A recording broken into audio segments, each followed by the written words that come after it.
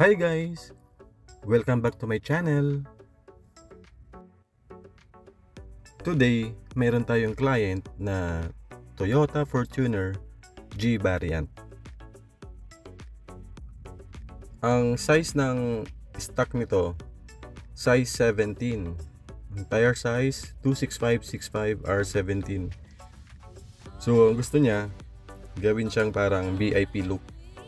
So, ang ilalagay natin dito, size 20 na fuel mags. Actually, si client, nung nasa ibang bansa pa, nag-uusap na kami nito. So, sabi niya, pag uwi daw dito ay papalitan niya ng mags. So, andito na si client. Tara, install na natin yung mags and tires niya.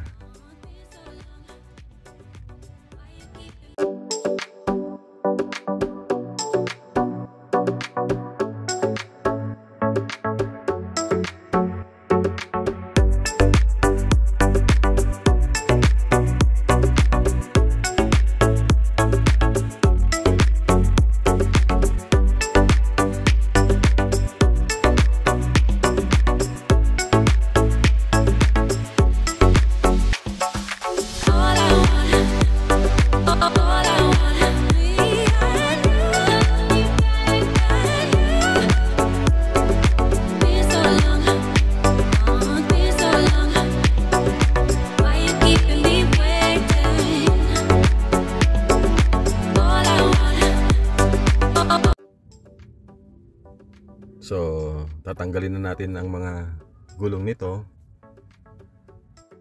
Actually, itong Fortuner nila, di masyadong nagagamit. Mahigit isang taon na to eh, pero ang tinakbo nito, nasa 3,000 kilometers pa lang. Yung stock mags and tires niya, iti-trade in na rin niya para makabawas dun sa package na i-aabil niya. So, tinanggap na rin namin to dahil maganda pa naman yung condition nung mags and tires niya. Although, medyo luma na yung production date. Dito sa amin, kahit hindi stock yung gulong na ititrade nyo, tinatanggap namin kahit yung mga aftermarket po. Para makabawas doon sa package. Kasi kadalasan ng mga client ko, ang dahilan nila, wala silang paglalagyan.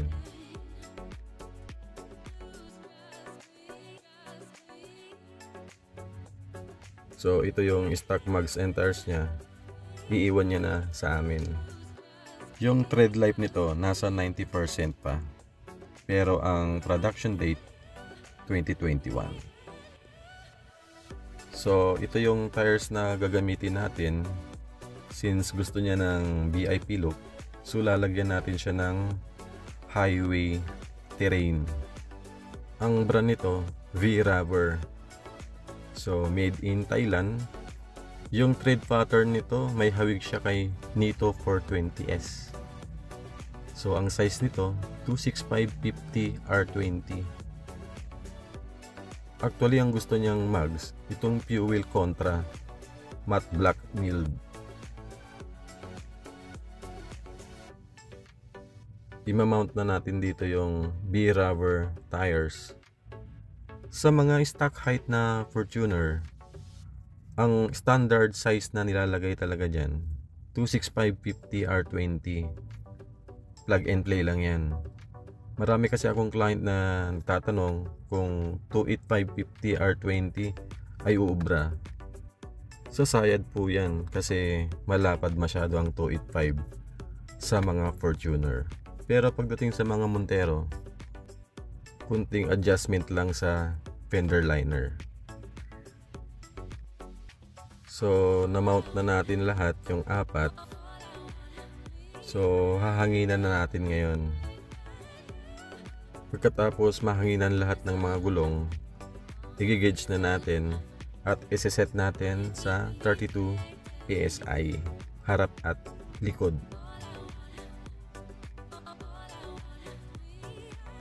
Siyempre, huwag kakalimutan i-wheel balance. Importante na nakabalance yung gulong para pagdating sa high speed, hindi nagwi-wiggle or vibration. Although, itong fuel contra na to, yung hub bore nito, fit na sa Fortuner. 106.1 mm.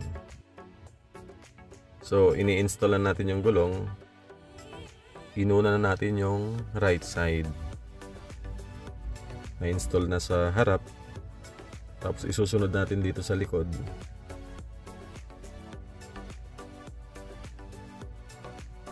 Yan, na-install na natin yung harap at likod dito sa kanan. At isusunod natin sa kaliwa.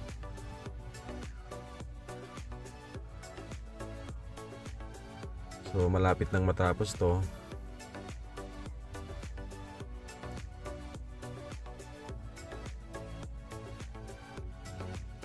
So, tinatarblakan na. Kasi tapos na siya. After na matarblock to, saka hihigpitan na yung gulong. Tapos ng higpit, saka ilalagay yung center cap. Kasi yung lug nuts nito nasa loob. Kailangan maingat tayo. Kailangan alam natin na nahihigpitan muna siya bago natin nilalagay yung center cap. So, tapos na siya. Yan yung gusto ng client na magmukhang VIP look na hindi rugged yung tires. So, ang nilagay natin itong 26550 R20 na V-Rubber Highway Terrain. Kasi si client, more on city driving lang siya. So, ang kagandahan ng highway terrain, mas heavy duty siya sa city driving. Pag may mga inquiries kayo or questions, pwede kayong mag-comment dito sa baba or mag-message po sa Facebook page namin, RNH Tire Supply. And look for Rommel. Hanggang dito na lang ang video na to. Kung nagustuhan mo ang video na to, please like and subscribe.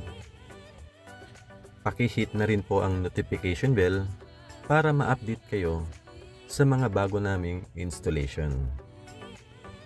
Bye!